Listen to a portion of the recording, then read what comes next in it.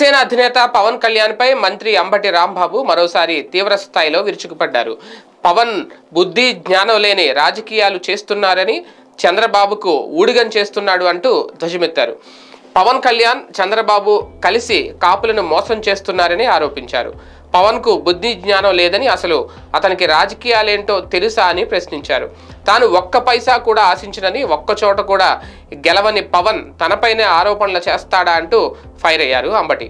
వైసీపీకి అధికారం రానివ్వను ఓట్లు చేలనివ్వను అని చెప్తున్న పవన్ అంత పెద్ద మగాడా అంటూ ఆగ్రహం వ్యక్తం చేశారు. మా పవన్ మా పవన్ అంటూ కాపులంతా పవన్ని గోక్కుంటున్నారని ఆ కాపులంతా పవన్తో కలిసి చంద్రబాబుకి ఊడుగం చేయండి అంటూ తీవ్ర వ్యాఖ్యలు చేశారు. తాను విమర్శన విమర్శించినంత ఘాటుగా ఎవరూ విమర్శించరని అందుకే పవన్ తనని టార్గెట్ చేశాడని అంబటి రాంబాబు వెల్లడించారు.